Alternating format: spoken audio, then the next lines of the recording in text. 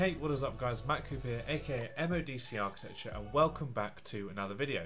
Now today's video is all about the Apple Vision Pro and what it means for architecture, what it means for architectural students, as an employer or working in the professional world, and how we can really use it, I guess, and sort of what my personal opinion is on the Vision Pro itself. Initially, I think it's overpriced. I think everyone does, or a lot of people do, but let's dive into the advantages, disadvantages, and potential applications to architecture. After a roughly 30 minute demo that ran through the major features that are yet to test, I came away convinced that Apple had delivered nothing less than a genuine leapfrog in capability and execution of XR or mixed reality technology with the new Apple Vision Pro. However, just to be super clear, I'm not I'm not saying it delivers on all promises or it's perfect in every way, shape, or form.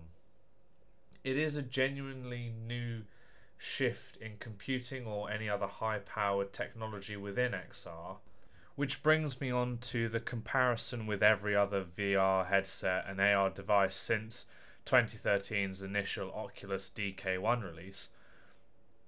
It's incredible how you can incorporate the technological or the VR world with the real world. I've been awed and re-awed as developers of the hardware and software of those devices that have tried to mimic or, have come before the Apple Vision Pro have tried to find something that would get real purchase with the broader public and be possible.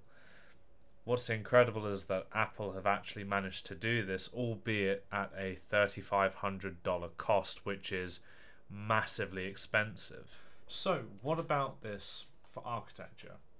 So, for me, architecture always had the potential for VR in terms of being able to experience a space and being able to collaborate on said space through connecting people to the same VR space or the same model space. However, it always felt a little bit clunky because you would never really see the person. It would be kind of this I know representative of a figure, and perhaps the space wasn't changeable or didn't feel realistic. Something along those lines. There was something missing, I felt, within VR, within architecture. However, with this new Apple Vision Pro, I'm singing all the praises for it regarding furthering this because you can obviously see someone as well as see the digital display. So, in theory, you could be in a digital space and see a person in real time as well. So, being able to collaborate perhaps on the same physical space while talking to a person, I can only see as being positive for the architectural world in terms of work, workflow, collaboration with engineers, with clients, with other architects. It just seems like there's an endless possibility of furthering work efficiency with this sort of technology. And obviously, perhaps businesses will be able to cover the three and a half thousand dollar price tag a little bit more than your average person. So, just that's the main thing that I think would be fantastic for this piece of software. However, with it being Apple, there do, there does come the difficulties of software compatibility because we we all know that Apple perhaps isn't the easiest to get our softwares on with Rhino, Revit, etc., etc. You know, I know that there are Apple versions, but for me, a Windows user, I would find it perhaps slightly difficult to retrain or relearn the interface on an Apple product. Now, maybe I'm just being a bit pessimistic, and perhaps it's easier than I realize. If it is, then great, this point is invalid in terms of a potential difficulty. However, for now, I feel like that may be a slight drawback. In terms of modeling itself, this could be a fantastic way to actually model and experience a space changing in the digital.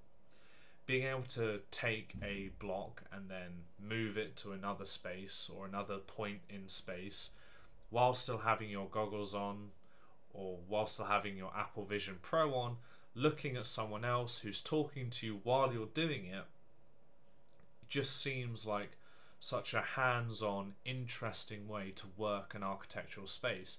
It it's so interesting for me as a student because you know I've only known 3D modeling sitting behind a desk, clicking away, typing away, and then seeing a space kind of unfold on a screen in my eyes. However, being able to have access to a keyboard, which you can, uh, a digital keyboard, and also being able to use gestures or whatnot to make changes or to swipe across or whatever in one single interface that you just have to wear on your skull, modeling suddenly becomes so much more hands on and you can understand the architecture you're creating so much easier rather than having to make these models as well. In terms of modeling, it could save a lot of money and save a lot of material on potentially needless iterative models.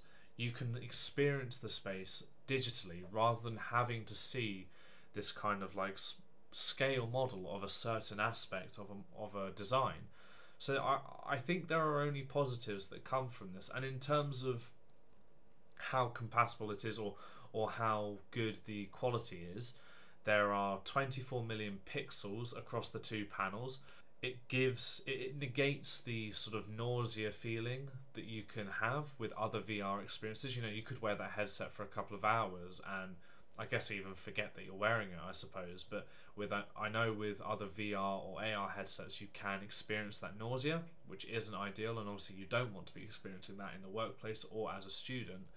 And so, allegedly, with the R1 and M2 chip, there are no sort of juddery frame rates as well, or any drops in quality, and that's really useful, or basically a necessity when working within architecture to make sure you have a constant, nice color contrast or make sure you constantly have the right picture or no, no drops in quality just so that you can maintain that efficiency working when using a new technology such as this. And the fact that you can have a 4K world around you with with eye tracking is just incredible.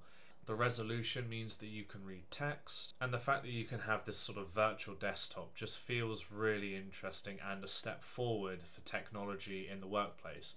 And this isn't just in architecture, this is just general. I feel like the workplace is going to change a lot because of the Apple Vision Pro.